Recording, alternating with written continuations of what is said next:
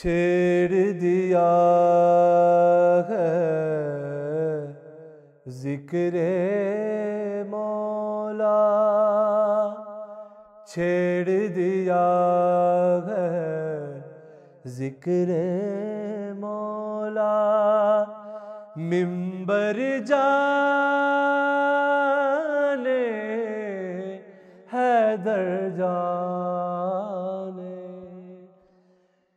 کفر ہے گر یہ عشق علی کا کافر جا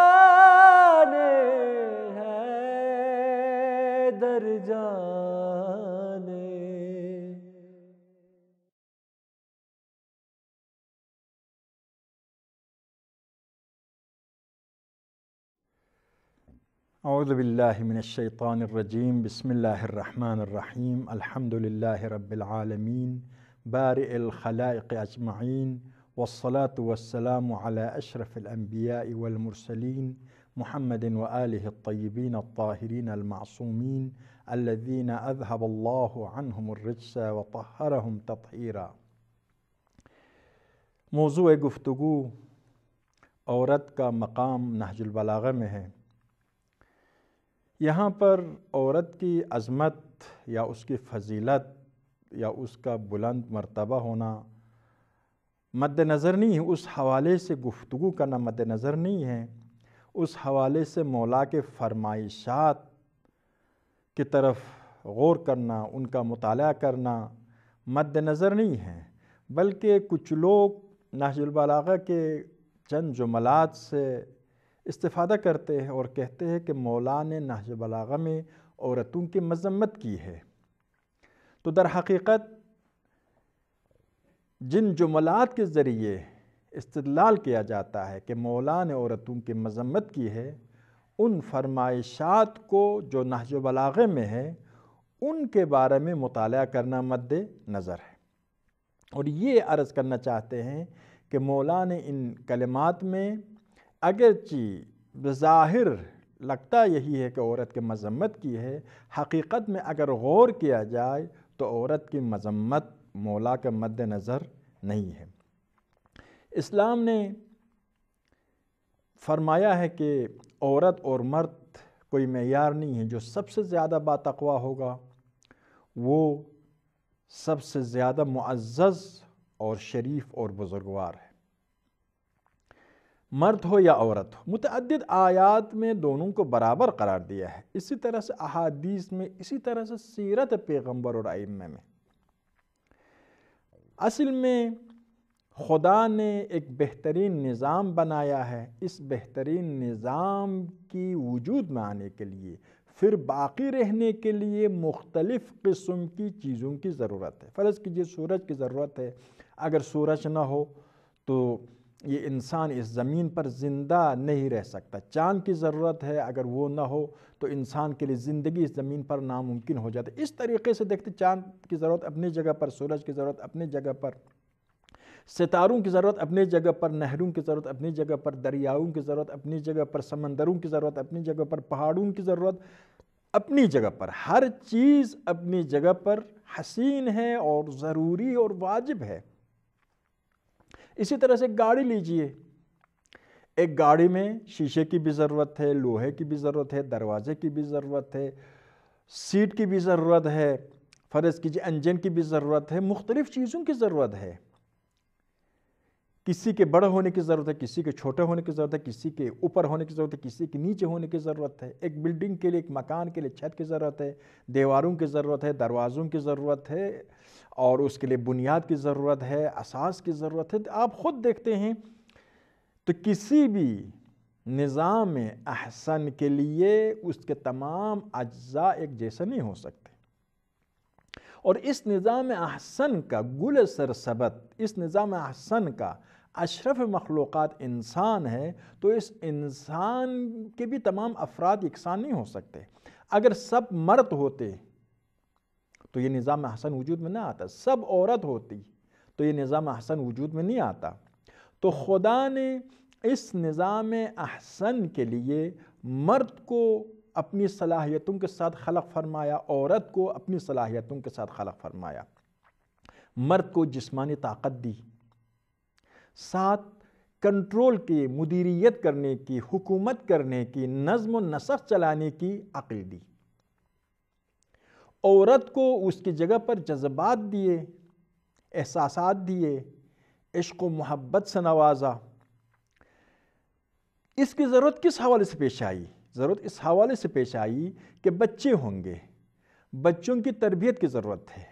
بچوں کے اخراجات کی ضرورت ہے۔ بچوں پر کنٹرول کرنے کی ضرورت ہے۔ تو بچوں پر کنٹرول کرنے والا، مرد کی، گھر کی مدیریت، گھر کی حاکمیت برقرار رکھنے والا مرد ہے۔ مرد ہے، ہوتا ہے، جو گھر پر کنٹرول کرتا ہے۔ اس کے روب سے گھر والے غلطی کرنے سے اجتناب کرتے ہیں۔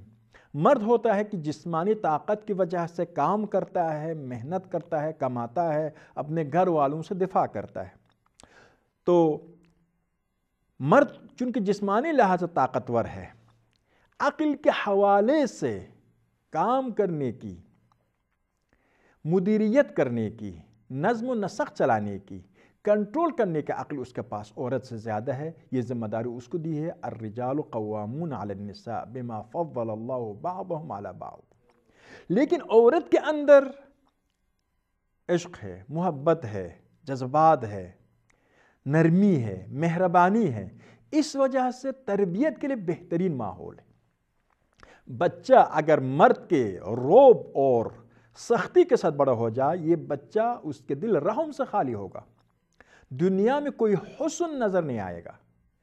اس کے پورے وجود نفرتوں سے بھرا ہوا ہوگا۔ لیکن گھر میں محبت کے باغ میں، محبت کے سرسبز جنت میں اس کی پرورش ہوتی ہے۔ باپ کے زیر سایہ۔ تو اس بہترین گھر کے لیے مرد کی ضرورت ہے، عورت کی ضرورت۔ عورت اس کی ایک ضرورت کو پورا کرتا ہے، محبت کی ضرورت کو، شفقت کی ضرورت کو۔ مرد اس کی ادارہ، کنٹرول اور مالی ضرورتوں کو پورا کرتا ہے۔ اور اسی وجہ سے اسلام نے عورت کے عرص آدھا رکھا۔ اس لیے کہ گھر کے اخراجہ لانے والا مرد ہے۔ جب کسی گھر سے مرد مارا جائے تو اس کے معیشتی حالت ختم ہو جاتی ہے۔ اگر کسی گھر سے عورت مار دی جائے، قتل ہو جائے، تو اقتصادی لحاظ سے زیادہ نقصان نہیں ہوتا۔ اس گھر کو معاشی لحاظ سے نقصان نہیں ہوتا ہے۔ اس گھر کو عشق و محبت کے لحاظ سے نقصان ہوتا ہے۔ اسی طرح سے عرص کے لحاظ سے مرد کے عرص زیادہ رکھا، کیونکہ گھر کے اخراجات کی ذمہ داری مرد پر ہے۔ عورت پر نہیں ہے۔ اور اسی طرح سے عورت کو مہریہ بھی دیا۔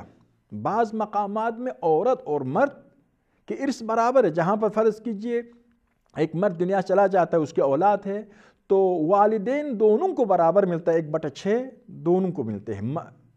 اسی طرح سے اگر ماں کی طرح سے بھائی بہن ہے، اگر وہ وارث ہے تو ان کو برابر ملتا ہے۔ تو عرض یہ کر رہا تھا کہ اس بہترین سسٹم کے لیے گھرانے کی ضرورت ہے۔ گھرانہ انسان کی تربیت کے لیے، ترقی کے لیے بہترین مرکز ہے، پہلا مرکز ہے۔ تو وہاں پر اس کی ایک ضرورت کو ماں پورا کرتی ہے ایک ضرورت کو باپ پورا کرتا ہے۔ اسی لیے خدا نے مختلف صلاحیتوں کے ساتھ مرد، عورت کو، مرد کو جسمانی طاقت کے ساتھ اور کنٹرول کرنے کی عقل کے ساتھ، عورت کو محبت و شفقت کے ساتھ خلق کیا۔ تو ایک قسم کے تقسیم کار ہے۔ فضیلت نہیں، نہ عورت کے پاس شفقت و محبت ہونا، دلیل ہے کہ عورت مرد سے افضل ہے، نہ مرد کے پاس جسمانی طاقت ہونا اور کنٹرول کی عقل و حکمت کا مالک ہونا باعث بنتا ہے کہ مرد افضل ہو۔ آپ تاریخ بشریت کو دیکھیں، ہمیشہ جسمانی طاقت مرد کے پاس تھی۔ اسی طرح سے حکومت مرد نے کی ہے، کنٹرول مرد نے کی ہے۔ ابھی بھی پانچ صدیاں گزر گئی ہے مغرب میں آزادی کے۔ اس کے باوجود کنٹرول پورا مردوں کے ہاتھ میں ہے۔ یہ دلیل ہے کہ یہ صلاحیت مردوں کے پاس زیادہ ہے، لیکن صلاحیت زیادہ ہونے اس بات کی دلیل نہیں ہے کہ مرد عورت سے بہتر ہے۔ ایک قسم کے تقسیم کار ہے فیملی کو بچانے کے لیے، فیملی کو مرکز عشق و محبت بنانے کے لیے، بچوں کے تربیت کا مرکز بنانے کے لیے۔ اب اس حوالے سے زیادہ گفتگو کرنا مد نظر نہیں میں مولا امیر المومنین کے حوالے سے جو کچھ لوگ سوچتے ہیں کہ مولا نے عورت کی مذمت کی یہ ہے، ان کلمات کو نحج البلاغہ سے آپ کی خدمت میں عرض کرتا ہوں۔ نحج البلاغہ میں فرماتے ہیں کہ عورت کی غیرت کفر ہے، مرد کی غیرت ایمان ہے۔ کفر دو قسم کا ہوتا ہے۔ ایک کفر اعتقادی لحاظ سے، عقیدے کے لحاظ سے، وہ کفر یہاں مراد نہیں ہے۔ دوسرا کفر یہ ہے کہ عملی لحاظ سے، عورت جب تعصب کرتی ہے، جب اس کو غصہ آتا ہے، جب اس کو غیرت آتی ہے کیوں کیوں میرے شوہر دوسری عورت کے ساتھ شادی کر رہا ہے؟ تو عملاً وہ حکم شریک کی خلاف ورزی کرتی ہے، لڑ پڑتی ہے جگڑتی ہے، بس اوقات دین اور خدا کی خلاف ورزی پر اتر آتی ہے۔ تو یہ جو غیرت ہے اس مسئلے میں یعنی اپنے سوکھن کے حوالے سے، دوسری زوجہ کے حوالے سے جو غیرت ہے عورت کی، یہ غیرت ہو سکتا ہے بسا اوقات عورت کو کفر تک لے جائے۔ عملی لحاظ سے اسیان کرے نافرمانی کرے خدا کی۔ مراد یہ ہے۔ یاری یالی یالی یالی اسی لیے امام جعفر صادق فرماتے ہیں کافی میں کہ عورت کی یہ جو غیرت ہے محبت کی وجہ سے ہے۔ شوہر سے محبت کرتی اسی لیے نہیں چاہتی ہے کوئی اور عورت اپنے شوہر میں اس کے ساتھ شریک ہو۔ ایک طرح سے امام تعریف بھی کر رہے ہیں، اس کے باوجود فرماتے کہ اس غیرت کی وجہ سے کہیں عورت غصے میں آ کر خلاف شرع نہ کرے۔ خدا کی نافرمانی نہ کرے، دین سے خارج نہ ہو جائے، یہ مراد ہے۔ اسی طرح سے مرد کی غیرت علامت ایمان ہے یعنی مرد اپنی عورت کی نسبت میں غیرت رکھتا ہے، عورت کو گناہوں سے بچاتا ہے، یہ باعث ایمان بنتا ہے۔ لیکن عورت مرد کو دوسری شادی سے روکتی ہے اور روکنے کے سلسلے میں شریعت کی خلاف ورزی کرتی ہے، پھر یہ باعث کفر ہے۔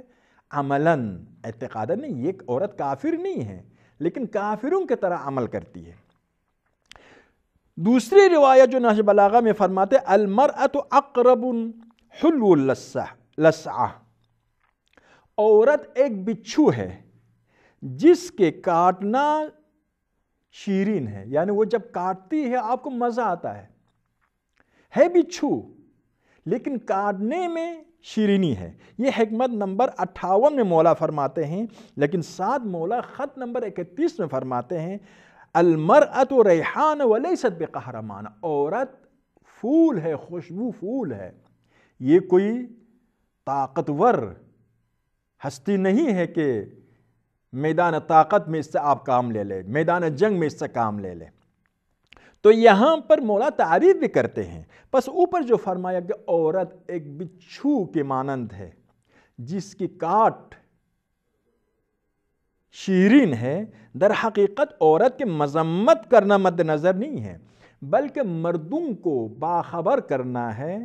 کہ تم عورتوں کے وجہ سے گمراہ نہ ہونا، عورت کے حسن کو دیکھ کر، دل ربائی کو دیکھ کر، اس کے حالات کو دیکھ کر زن پرس نہیں ہونا ہے۔ خدا پر اس کے خواہشات کو ترجیح نہیں دینا۔ تاریخ اسلام میں ایسی بہت سی مثالیں ہیں کہ مردوں نے عورتوں کے خواہشات کو ترجیح دیا ہے خدا کے خواہشات پر۔ یعنی مراد یہ ہے کہ عورتوں کے حسن کی وجہ سے ان کے ناجائز مطالبات کے سامنے ہتھیار نہیں ڈالنا ہے، چنانچہ تاریخ میں کثرت کے ساتھ یہ بات موجود ہے۔ چنانچہ مولا فرماتے ہیں دنیا کے بارے میں، مثل الدنیا مثل الحیہ لین مسہا قاتل سمہا دنیا کی مثال سانب کی مثال ہے۔ چھونے میں نرم ہے، لیکن اس کا زہر کشندہ ہے۔ انسان کو ختم کر دیتا ہے۔ دنیا کی مولا نے بہت تعریف کی ہے نحج البلاغہ ہی میں۔ ایوہ الدنیا المختر ربیہ دنیا مولا فرماتے دنیا سچائی کی جگہ ہے، دنیا عافیت کی جگہ ہے، دنیا مسجد خدا ہے، دنیا فرشتے اترنے کی جگہ ہے، دنیا وہ جگہ ہے جہاں سے آپ سعادت ابدی کو خرید سکتے ہیں۔ اتنی تعریفیں کی ہے لیکن اسی دنیا کے دھوکھے میں کچھ لوگ ہوتے ہیں، کچھ لوگ دنیا پرس ہو جاتے ہیں۔ اسی طرح سے عورت میں جو کشش ہے، مرد کے بارے میں کیوں نہیں کہا؟ وجہ ہے کہ مرد میں وہ کشش نہیں ہے۔ عورت میں کشش ہے، تاریخ گواہ ہے کہ عورت کی کشش اتنی قوی ہے کہ بڑے سے بڑے مرد غرق ہو گئے اس دریا میں، اس جاذبہ میں، اور اصولوں کو نابود کیا، اقدار کو نابود کیا۔ تو بڑے سے بڑے مولا کی شہادت کی وجہ، مختلف حضرت یحییٰ کی شہادت کی وجہ، یہی عورتوں کے عشق ہے۔ تو یہی فرمانا مقصد کہ عورتوں کی وجہ آپ دیکھیے اس عالم میں استقباری ممالک، سامراجی ممالک، تیسری دنیا کے رہبروں کو شکار کرنے کے لیے عورتوں سے مدد حاصل کرتے ہیں۔ ایجنسیاں، لیڈروں کو ختم کرنے کے لیے عورتوں سے مدد حاصل کرتے ہیں۔ یہی فرماتے ہیں کہ تم محتاط رہو، عورت ریحانہ بھی ہے۔ لیکن بچھو کی طرح ہے بھی ہے، محتاط رہو۔ بس عورت کے مذمت مد نظر نہیں ہے۔ عورت کے حسن کی وجہ سے مرد کو خطرے سے آگاہ کرتا ہے کہ عورت کو شاید استقبار، سامراج استعمال کرے۔ عورت کو شیطان استعمال کرے۔ روایات میں شیطان کے ایک اہم اسلحہ عورت ہے۔ دجال کے ایک اہم اسلحہ عورت ہے۔ تو اصل میں عورت کے مذمت مد نظر نہیں ہے۔ جو مد نظر ہے، وہ مرد کا دھوکہ کھانا ہے عورت کے سامنے، عورت کی حسن کے سامنے۔ تاریخ بشر گواہ ہے اس حقیقت کو ثابت کرنے کے لیے۔ اور ایک حدیث میں مولا فرماتے ہیں، المرأة كلها شر وشر ما فيها انہو لابد منها یہ حکمت دو سو تیس میں مولا فرماتے ہیں، عورت کی تمام وجود شر ہے۔ اور اس میں بدترین چیز یہ ہے کہ مرد اس کے سامنے مجبور ہے اس کے بغیر زندگی نہیں کر سکتا ہے۔ یہ بھی نسبی مسئلہ ہے۔ عورت اپنے لیے خیر ہے، مرد اپنے لیے خیر ہے۔ مرد کے لیے، عورت کے لیے ممکن ہے مرد شر ہو، مرد کی وجہ سے عورت جہنمی بن جائے۔ اور مرد کے لیے ہو سکتے عورت شر ہو، عورت کی وجہ سے جہنمی بن جائے۔ لیکن عموماً مرد عورت کے سامنے ہتھیار ڈال دیتا ہے۔ عورت مرد کے سامنے ہتھیار نہیں ڈالتی ہے۔ یعنی مردوں کو دھوکھا دیا جاتا ہے عورتوں کے ذریعے۔ امام ششم فرماتے ہیں، اکثر الخیر فی النساء، وسائل الشیع عظیم کتاب ہے۔ تمام مراجع اس کتاب پر اعتماد کرتے ہیں۔ اس میں فرماتے ہیں کہ بیشترین خیر، بیشترین نیکی، سب سے زیادہ نیکی اور محسنات عورت میں ہے۔ پس شر ہونا یہ ہے کہ آپ دھوکہ نہ کھائے۔ آپ اگر زن مرید ہو جائیں گے، اگر زن پرس ہو جائیں گے، دنیا پرس ہونے کے چنانچہ نفس پرس ہونا، اپنی ذات کی پرستش کرنا، اپنی ذات کی پوجا کرنا، خدا پر اپنی ذات کے خواہشات کو ترجیح دینا بری چیز ہے۔ دنیا کو ترجیح دینا بری چیز ہے، شیطان کو ترجیح دینا بری چیز ہے۔ اسی طرح سے عورت کو ترجیح دینا بری چیز۔ زن پرس ہونا بری چیز ہے۔ یہاں مذمت وہی ورنہ تعریف کرتے پیغمبر فرماتے ہیں، اکثر الخیر فی النساء۔ من لا يحضر الفقیر میں مولا پیغمبر فرماتے ہیں، سب سے زیادہ خیر اور نیکی عورتوں میں ہے۔ پس مولا جو فرماتے شر در حقیقت مرد کی نسبت میں۔ بعض اوقات فرض کی سام کے جو زہر کا مواد ہے، وہ سام کے لیے خیر ہے، کیونکہ اس کے نجات کا ذریعہ ہے اسلحہ دفاع ہے، لیکن ہمارے لیے شر ہے۔ شر بعض اوقات نسبی ہوتی ہے۔ آنکھ خیر ہے سب کے لیے، لیکن جس کے گھر جل جائے، اس کے لیے شر ہے۔ تو نسبی ایک کی نسبت میں خیر ہے، ایک کی نسبت میں شر ہے، تو عورت شر ہے ان مردوں کے لیے جو عورت کے سامنے ہتھیار ڈال دیتے ہیں۔ ورنہ ذات عورت پیغمبر فرماتے ہیں، امام ششم فرماتے ہیں، خیر ہے۔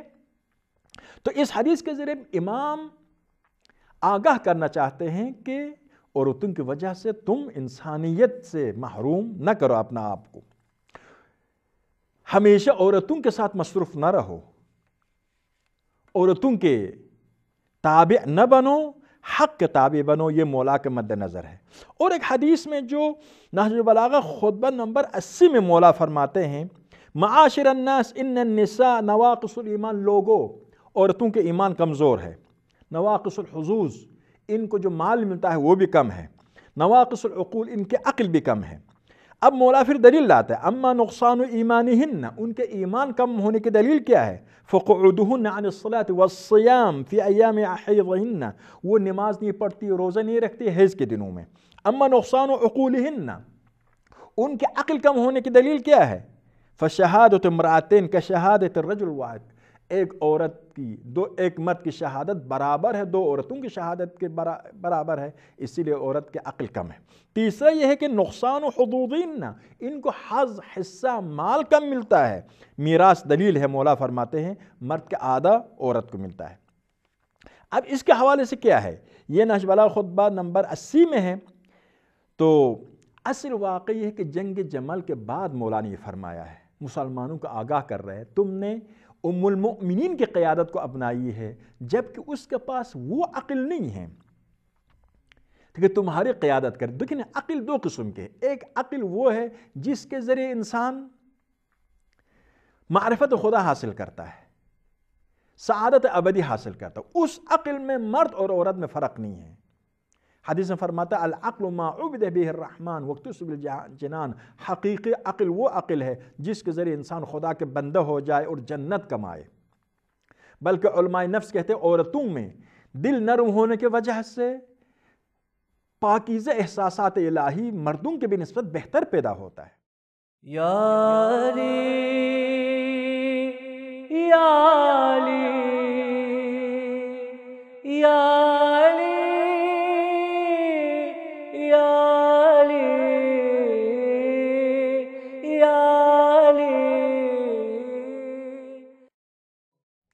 وہ عقل جو مردوں میں عورتوں سے زیادہ ہے، وہ عملی میدان میں ہے، سیاسی میدان میں ہے، مدیریت کے میدان میں ہے، کنٹرول ادارہ کے میدان میں ہے۔ بس وہ عورت جو کنٹرول اور ادارہ کے لحاظ سے کمزور ہے، اس کو تم نے کیوں لیڈر بنایا اپنا جنگ جمل میں؟ ایک جنگ جمل کے حالات کی طرف ناظر ہے، جنگ جمل کے بعد فرمایا۔ علماء نفس بھی مانتے ہیں۔ عرض کیا کہ کچھ صلاحیتیں مرد میں ہیں عورت میں نہیں، کچھ صلاحیتیں عورت میں ہیں مرد میں نہیں ہیں دونوں برابر نہیں ہو سکتے۔ فرض کے بچہ کا حامل عورت ہو سکتے، مرد حاملہ نہیں ہو سکتا۔ اسی طرح سے محبت کے سرچشمہ ماں ہے، عورت ہے، مرد نہیں ہو سکتا۔ لیکن طاقت اور کنٹرول اور حکومت کی صلاحیت مرد میں زیادہ ہے۔ تو عرض یہ کر رہا تو خود علم النفس کے مطابق ثابت ہے کہ عورت کی جو ہے مغز کمتر ہے مرد کے مغز سے۔ عورت میں عواطف احساسات زیادہ ہے۔ عورت کی ذمہ داری تربیت ہے، مرد کی ذمہ داری کنٹرول اور کام اور محنت ہے۔ تو یہاں پر فرماتے ہیں کہ اس بنا پر تم ان اصولوں کو نظر انداز کر کے عورتوں کو مرد کی ذمہ داری نہ دو، مردوں کو عورتوں کی ذمہ داری نہ دو۔ دیکھیے، اسلام میں مرد و عورت دونوں انسانیت میں برابر ہے، ایمان میں برابر ہے، قرب خدا میں برابر ہے، وسائل مختلف ہے ذرائع مختلف ہے صلاحیتیں مختلف ہیں، اس وجہ سے ذمہ داریاں بھی مختلف ہیں۔ ذمہ داریاں مختلف ہونے کی وجہ سے احکام شرع بھی مختلف ہے اور صلاحیتیں مختلف ہونے کی وجہ سے ذمہ داریاں مختلف ہونے کی وجہ سے ارث و میراث ہو اس قسم کے مسائل میں مختلف ہے اور بہترین نظام وجود میں آتا ہے جب عورت اور مرد دونوں مل کر کام کریں گے، ایک قسم کی ضرورتوں کو عورتیں پورے کر سکتی، مرد پورا نہیں کر سکتے۔ ایک قسم کی ضرورتوں کو مرد پورا کر سکتے، عورت پورا نہیں کر سکتی ہے۔ عورت بے عقل نہیں ہے اور مرد محبت و جذبات سے خالی بھی نہیں ہے، لیکن بیشتر عقل، عملی حوالے سے، کام کے حوالے سے۔ مرد کے پاس زیادہ ہے، معرفت عقل میں یکساں ہے۔ اور بیشتر جذبات اور عشق و محبت عورت کے پاس ہے۔ یہ مراد ہے، عورت خدا کے محبت کے مظہر ہے، مرد خدا کے قدرت کا مظہر ہے۔ عورت محبت کے حسن و جمال کے مظہر ہے، مرد خدا کے توانائی اور طاقت کا مظہر ہے۔ اسی طرح سے مرد، دیکھیے، کیونکہ عقل، عملی عقل اس کے پاس زیادہ ہے اسی لیے حساب و کتاب کے ساتھ کام کرتا ہے، فائدہ و نقص، فائدہ و نقصان کو سوچ کر اقدام کرتا ہے۔ عورت چونکہ جذباتی ہے، بس اوقات فائدہ اور نقصان کو سوچے بغیر اقدام کرتی ہے۔ تو در حقیقت مولا یہی فرماتے ہیں کہ تم عورتوں سے مردوں کا توقع نہ رکھو، جمل والو۔ عورت کے پاس مرد جیسی لشکر چلانے کی، جنگ کی قیادت کرنے کی صلاحیت نہیں ہے۔ تم نے اس کی کیوں پیروی کی؟ علماء نفس مختلف حوالوں سے مرد اور عورت میں فرق کے قائل ہے۔ مرد اپنی توجہ کو مرتکز کر سکتا ہے، ایک کی طرف عورت نہیں کر سکتی ہے۔ اسی لیے فیصلہ سنانے میں مرد تمام پہلوؤں کو، جوانب کو دیکھ کر فیصلہ سنا سکتا ہے، عورت تمام پہلوؤں کو دیکھ کر فیصلہ نہیں سنا سکتی ہے۔ ایک چیز کو دیکھ کر فوراً فوراً فیصلہ دیتی ہے۔ فوراً حکم کرتی ہے، قتل کرے۔ جبکہ مرد ایک مسئلے کے تمام جوانب کو ابعاد کو دیکھنے کے بعد فیصلہ کرتے ہیں، اسی لیے مرد کو قضاوت کرنے کا حق بہتر ہے عورت کے بھی نسبت میں۔ مرد کے لیے قاضی بننے کی صلاحیت مرد کے پاس زیادہ ہے عورت کی نسبت میں۔ اسی طرح سے مشورے میں علماء نفس کہتے ہیں، مرد پہلا خود ارادہ کرتا ہے، پھر مشورہ لیتا ہے۔ مشورہ اگر لائق سمجھے، اس ارادے میں تبدیلی لاتا ہے۔ عورت ارادہ کر نہیں سکتی جب تک دوسروں سے مشورہ نہیں لیتی۔ اور اسی طرح سے فکری لحاظ سے، علمی لحاظ سے عورت بات کرنے کی صلاحیت اس میں زیادہ ہے۔ جذبات کی صلاحیت اس میں زیادہ ہے۔ ہنر مندی کی صلاحیت اس میں زیادہ ہے۔ جبکہ مرد میں میکینکی صلاحیت ہے، ریاضیات کی صلاحیت ہے، فلسفے کی صلاحیت زیادہ ہے۔ تو آپ دیکھ رہے ہیں، ایک قسم کی تقسیم کار ہے۔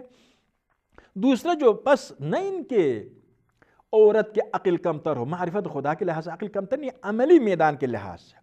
اور تیسرا نقطہ جو فرمایا کہ ایمان کم ہے عورت کا، اس کا ایک نقطہ یہی ہے امام نے فرمایا کہ کیونکہ روزہ نہیں رکھتے ہیں، نماز نہیں پڑھتے، عادت کے دنوں میں جواب جواب دے سکتے ہیں۔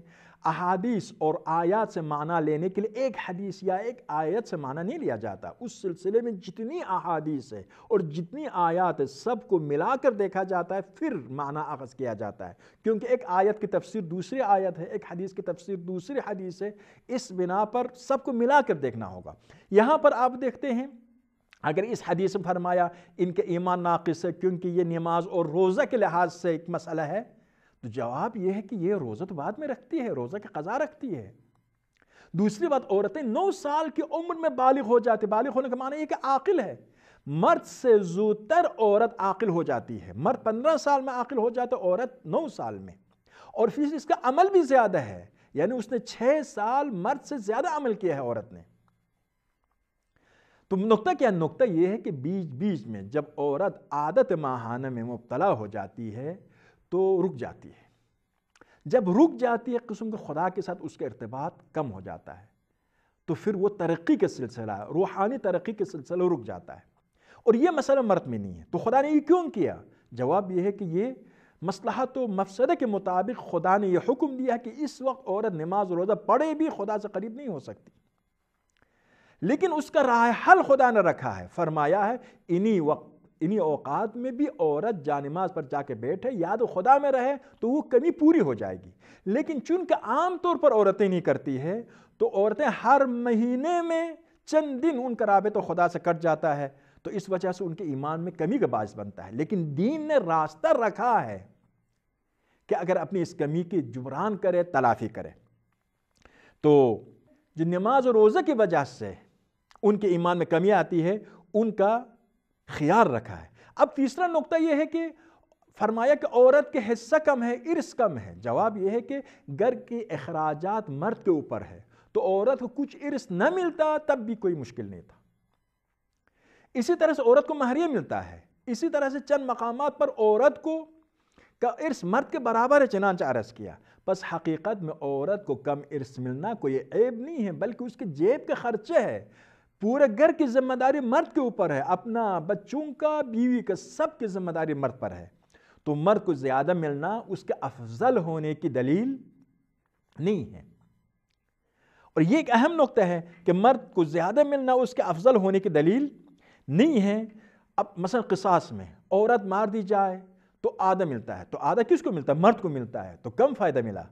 اگر مرد مار دیا جائے تو پورا ملتا ہے، پورا کس کو ملتا ہے؟ عورت کو، تو قصاص دیے میں مرد کا دیا زیادہ ہونا عورت کے مفاد میں ہے۔ اور عورت کے دیا کم ہونا مرد کے نقصان میں ہے۔ تو در حقیقت وجہ یہی قصاص میں چنانچہ عرض کیا کیوں عورت کی دیا کم ہے، دیت کم ہے؟ اس کے وجہ یہ ہے کہ عورت کے مارے جانے سے گھر کے معاشی حالت خراب نہیں ہوتی ہے۔ گھر کے عشق و محبت کی سر چشمہ بند ہو جاتا ہے۔ ایک سوال ہوتا ہے، دین نے کیوں گھر کے اخراجات مرد کے ذمہ پر ڈالا؟ وجہ ہے کہ اگر مرد اور بچے، عورت اور بچے مرد کی سے اپنے اخراجات لیں گے تو اس کی با اطاعت کریں گے، تو اس کی قیادت کو مانیں گے، تو اس کے نتیجے میں گھر میں ایک وحدت، ایک ہم آہنگی برقرار رہے گی۔ اب وقت آگے مزید، اس گفتگو کو آگے ہم نہیں بڑھا سکتے۔ وہ صلی اللہ علیہ محمد و محمد۔ يا